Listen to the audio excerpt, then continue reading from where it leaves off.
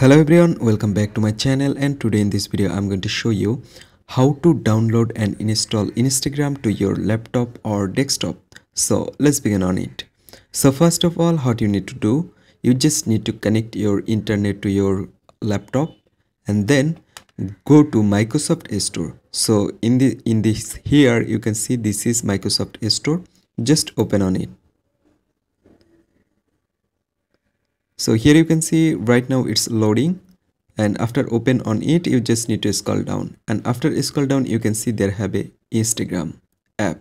If you don't find here you just simply go on the search bar and type instagram.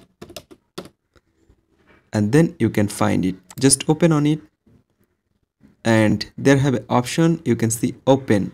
If you don't find open you just need to click on uh, get or install option you find here. You just click on it and then it's automatically download and install to your laptop. And I already installed it. That's why here is showing open option. I will show you that uh, if I just go on here and if I just search Instagram. So here you can see this is Instagram so guys in this way you can download and install instagram to your laptop or desktop very easily.